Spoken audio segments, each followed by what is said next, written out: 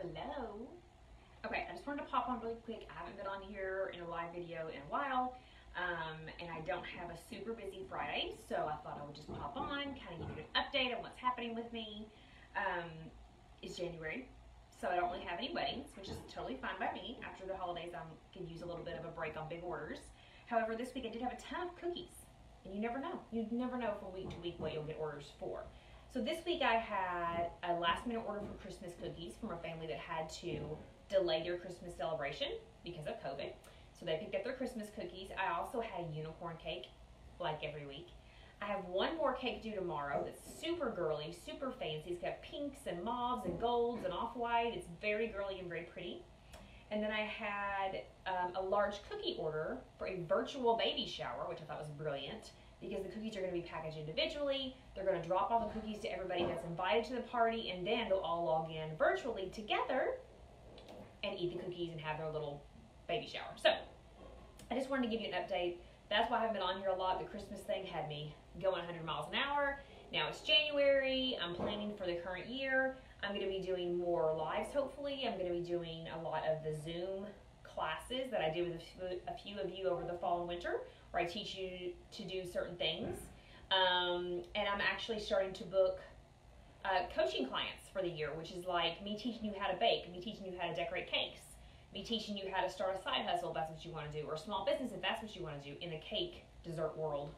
Um, so I'm trying to do a lot more teaching because I've come to realize I really enjoy that aspect of all this. But anyway, for today, like I said, I have a cake decorated here shortly, but I wanted to show you some of the cookies I've been working on what the cake that I'm going to make later tonight has French macaroons on top, um, kind of as part of the decoration. So I made a batch, and I have more than I need, which is not a bad thing, because if you've never had one of these, it is like eating a slice of heaven. It's so good. They're a little bit, they're very light in texture, but they're a little bit, there's a little slight crunch, and it's chewy and soft in the middle, and it's super, super sweet. So it looks like, you know, a little sandwich cookie. I don't know how to describe that. But they're super cute. These are pink, obviously, but you can make them any color you want. You can change up the flavors. These are just a vanilla base, and then you can add jam fillings if you want to. But I'm going to use these, and some of them I have painted with a little bit of gold shimmer, and I'm going to put them on top of the cake.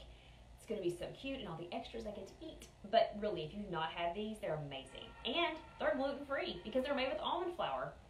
It's fantastic. So there's a lot of sugar in them, like a lot. So if you're trying to cut back on your sugar intake, this may not be what you want to try. So one of the ones that I pay a little bit of gold on, so this is just one of the shells. I haven't actually made it to the sandwich side yet, so that's what the flip side looks like. But the, I paint a little bit of gold shimmer. How cute is that? It's to be great. So those are to go on the cake. And then I also made, for that same order, some decorative sugar cookies, and these are little wine glasses, and it's hard to see with the glare. They have the gold and pink and mauve outline. They have a 30 on them for a 30th birthday. And for the virtual baby shower, I made like a twin pack of decorative cookies. So there's a onesie and a little baby hat, little baby winter hat. And they have the initial, the R on all of them. They don't know if it's a boy or a girl, so they're all like pastels of greens and yellows and pinks and blues. Um, I did several different patterns. Here's another one where has a white onesie with polka dots and a little pink hat. So I did several sets of these, so each guest gets two cookies, but they're packaged individually, so they don't have to eat them both at the same time. I thought that was a really cute idea. And I've done a lot of cookies since COVID because that is an individual dessert that they can package separately and hand out to people, and it doesn't feel like they're someone's touching their slice of cake or their cupcake. Um, so all those things I've been doing a lot of. So but I just wanted to show you kind of what I've been working on um, and tell you a little bit about what I had coming up for this year. So if any of you have tried to place an order with me for this month and I've told you no, I am sorry. I'm trying to cut back a little bit um, just because uh, it's just it, it, trying to keep up with all of it in one week with the orders and the icing and the baking is great and I appreciate the orders, but as I get older, it's not so simple on my body. My feet hurt, my hands hurt, my wrists hurt, so I'm just cutting back a hair. Don't panic. Um, so I would advise you, if you want to place an order, to place it as far in advance as you can. Even if you aren't sure what you want, just let me know the date, and then idea of what you're thinking that you might want, and that way I can get you set on my calendar.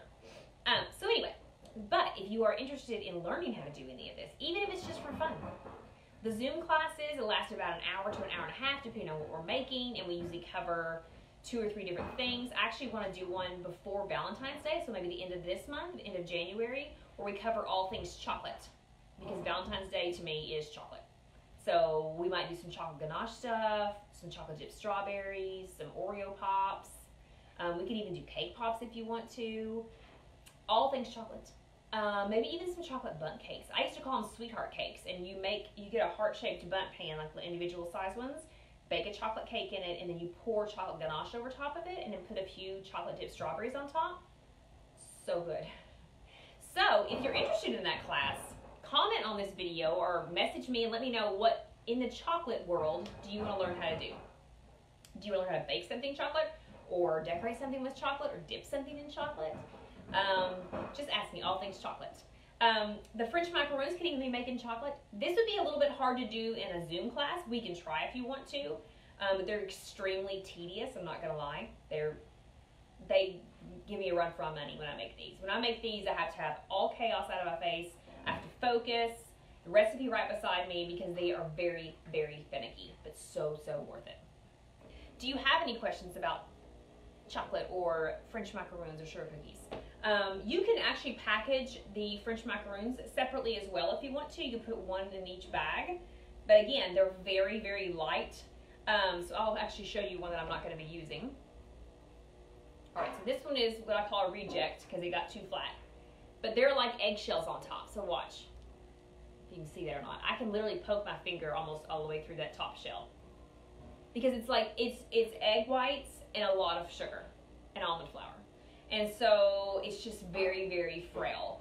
So when you, if you were to package these, you have to be careful not to crush them, not to put too many in a box, um, all that kind of stuff. It's a little bit more delicate than a sugar cookie is. Um, so anyway, so if anybody has any questions about the Zoom classes, if anybody has any questions about like the coaching or teaching aspect of what I'm going to be doing this year, let me know. It's all virtual, so COVID or not, we can totally do it. I actually am starting with a new client next week um, and she signed up, and we're going to be doing that. And it's like a six week plan. So we talk five to six days a week for six weeks, and not just talk, but I mean that's that's how long the program lasts. I'm pretty much in your back pocket while you're learning this. I'm sending you video tutorials. I'm sending you recipes. We're back and forth on Messenger through Marco Polo app, video text, all the things to keep us in touch so that I can answer all your questions as they arise for you and also be there to give you instructions. So that's it's really fun. I had several clients that signed up with me this past fall and winter, and I absolutely loved it. And it's super fun to talk to people about cake all day because that's what I think about all day. Um, so if you're interested, just let me know. Um, I'm also going to try to do more YouTube videos on different things. I usually do pretty what I consider classic decorations on YouTube, like stuff that most people can handle even if they're fairly new to cake decorating. But if there's something that you're really interested in learning how to do, like something more advanced or just a particular technique, let me know and I will do my best to fit that into my schedule, that making a video of that specific thing. But that's pretty much all I have today. I'm gonna sit here and drink a little bit of coffee and eat a French macaroon and then I'm going to start on my cake and deliver it tomorrow and then my weekend will be done and I'm very excited about that. But if you have any questions, please pop on let me know. Thank you all that showed up live today to watch. I'm sorry it's so short, but I gotta get back in the kitchen. Thanks for watching, guys.